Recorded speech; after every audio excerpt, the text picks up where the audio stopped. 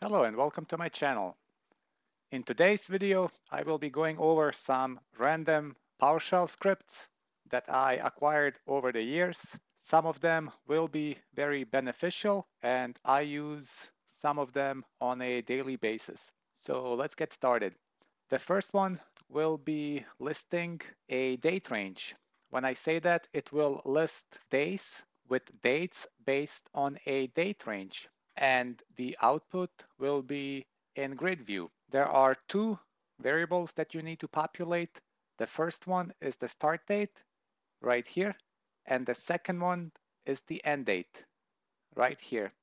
I do want to note that it can be any dates. In this case, I did January 1st through January 31st. Let me go ahead and run the script. And this is the output. You can tell by looking at this that there are 31 days, obviously because it's 1 through 31, but you can also see what day of the week it falls on. Let's say you need to see the whole year. You can quickly type in December 31st, run the script, and it literally runs in seconds maybe milliseconds. But this one is a interesting one because it does have 366 days shown up here in the title. So that means it's a leap year. Leap year, that means the month of February has 29 days instead of 28. The next script will print out weekdays so quickly you can run this and here's the output Sunday through Saturday. What's also nice about the script is it puts the output onto your clipboard. If I do a control V, here is your weekdays. Let me zoom out a little bit. This one is a dynamic random password generator. This will randomly create a password based on the criteria. The criteria in this case is up here. You can have a password with uppercase letters, lowercase letters. You can have password with numbers 0 through 9, special characters, which are shown here. There's more special characters, and then also curly brackets. I found out that it only accepts 88 characters. I am not sure why, but that's what I found out. And let's go ahead and run this so you can see the output. I set it to 50 characters long, so this is uh, 50 different characters. And also I put the password onto your clipboard. So if I do control V, here is the password down here. You can rerun this multiple times and every time you rerun this, it will generate a different password. You can shorten this to 20 characters and you can also then play with the different variables. Let's say the web page that you're working on doesn't allow special characters and curly brackets for whatever reason. So in that case, you would just delete these three variables like that and hit the run script F5 button and now you can see the output is only uppercase, lowercase, and numbers. So this can be useful if you don't know how to set a random password or if you're too lazy to think of one. So you can just rerun this until you see what benefits you. Let me do a control Z to undo all the changes. This one will be a file name search and it will search for file names in directories And what's nice about this script, it also searches hidden files. The output will be to a CSV file. So there are basically three variables that you would need to update on your side. In my case, the folder path that I will be searching is outlined right here. I am searching for a file name that contains hidden in the file name. See the little star that indicates or asterisk that indicates a wildcard. So it will search anything that has before the hidden name and also after. And then the result path where it will store the output of the CSV file is going to be right here in this path. So let me go ahead and run this. It takes a few seconds. And this will also invoke the Excel file, or in this case, it's a CSV file, but it will open it in Excel. Right here is the output. It named the file to the current date and time. And also the tab name down here is current date and time. And then here is the full path to the file that it found. I had a hidden file called hidden text file.txt and the last modified is November 4th. And the length, not sure what the length is, but that's okay. Let me show you this folder path. Give me one second. Here is the directory. And as you can see the hidden text file, you can see it's grayed out and it indicates that it is a hidden file. You can also test it by checking the properties and you can see the attributes the hidden flag has been selected. It's a nice little file name search that searches through directories. Here is another one. This will search file names, including directories, output to a grid view. You can output the result set into different formats. Let's go ahead and run this. And here you can tell that it ran really quick since it is initiating the out grid view, so it didn't have to write to the Excel file. But regardless, it found three files, total count three, and I searched for file names that contain the file name in it. So the hidden text file, this was a hit, and normal text file and the query SQL file. And you can also see all that right here. So here are the three files that were hit. This one will search words within files. So it can search for patterns within files such as .text, .log, .sql, etc. And also the output will be in grid view. In this case, I am again searching this directory and the pattern I am searching is 345. So let's go ahead and run this. It had a hit. You see how quickly this executed and it found this file, normal text file dot txt. It said that there's a pattern of 345 on line number two, and this is the line that it found it. Here's the line. This is just a random text file with a random ID 1, 2, 3, 4, 1 through 9. So if we go to this directory and open this text file, you can see that it looked through the files and it founded this pattern on line two, like it indicated.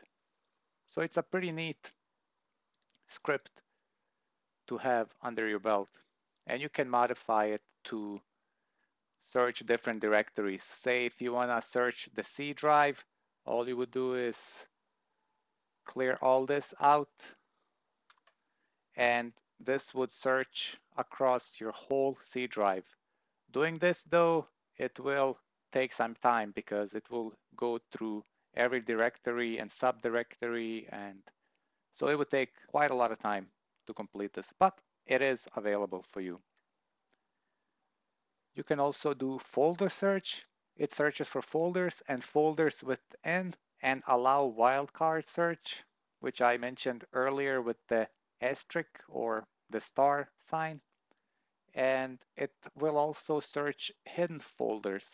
And when I say hidden folders, this is the, the command that searches hidden folders. So if you do a dash force, this will search hidden folders. So in this case, I'm searching for a folder name that has SEC in it. And here is your output. If we go to the search folder, hidden folder, it contains the word SEC, and that's where it found the name. And also this folder is hidden, and you can do that by looking at the properties and the attribute hidden has been selected. This one will generate numbers 1 through 100 with a comma separated. The first section will be displayed in horizontal, comma separated, and the second section of the script is a vertical format, no commas. In order to just run this section, you can highlight the script itself and you can also highlight the, the comment. And two ways, you can run this button and then it tells you right here, run selection or press the F8 key. Here is your output, 1 through 100. Let me do that again and just run the code. Oh, in this case, I would have to clear the host so that way it would read nicely. So 1 through 100 and it puts it on the clipboard.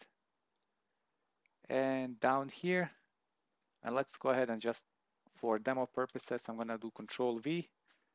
And here's your 1 through 100 this one will run 1 through 100, but this time it's going to be in a vertical format, as you can see.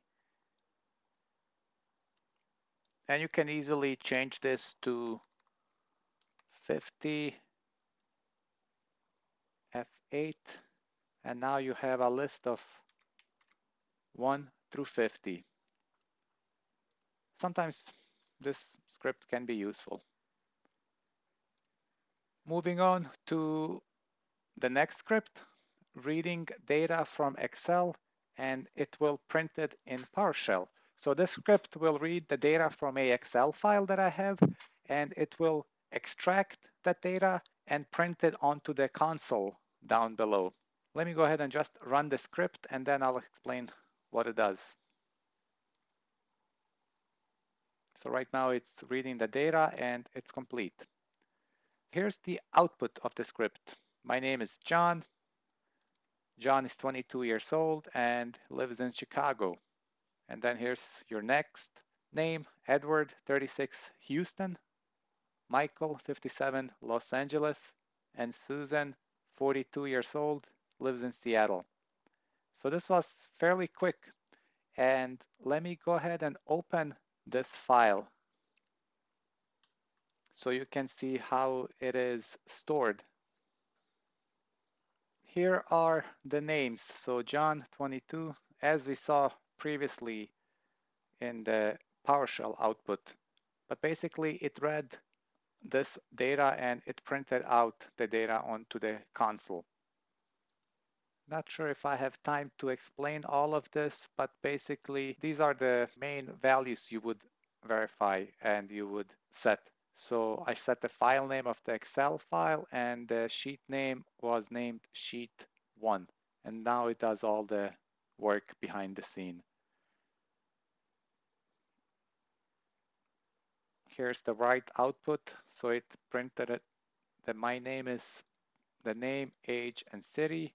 And I also included a divider between the different set of values. And lastly, it closes the Excel file. And let's jump to the last script here. This one is a welcome to my web page script. It will create a web page in seconds with custom fields. I have about six different values here. Name, John Smith, font color blue, family, font family, Arial, type beer, price 8.99 and age 25. Let me go ahead and run this and you'll see the output. Hit F5. Now here is your web page. So it says, welcome to John Smith's web page. John Smith's age is 25 and I'm printing out this means he can buy beer. So it's all dynamic. It pulls all those values from the PowerShell script. And then I just threw in a different formatting of the date time. So current date is November 19 and start time is when I turned on the computer at 8.35 a.m. Let's go revisit the PowerShell script.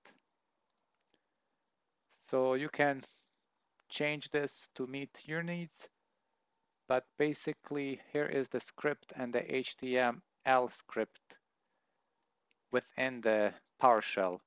So here's how I am building the title, John Smith's webpage. Welcome to, and I'm plugging in the name here, and then the font color and different formatting. And then I'm initiating the HTML file and I'm opening it with Chrome in my case because I have .html files associated with not Chrome, but Firefox in my case. And that's it. If you wanna say something else besides this, say Joe Doe, you say this red color, we'll leave the font same, ice cream for 3.99 and 67 years old. Run this and here's the web page. Welcome to John Doe's web page. His age is 67 and so on. But it's something to play around with and hope you enjoyed this tutorial please hit that thumbs up button and also subscribe to my channel. I will be putting out more PowerShell scripts along with other Windows tips and tricks such as auto hotkey.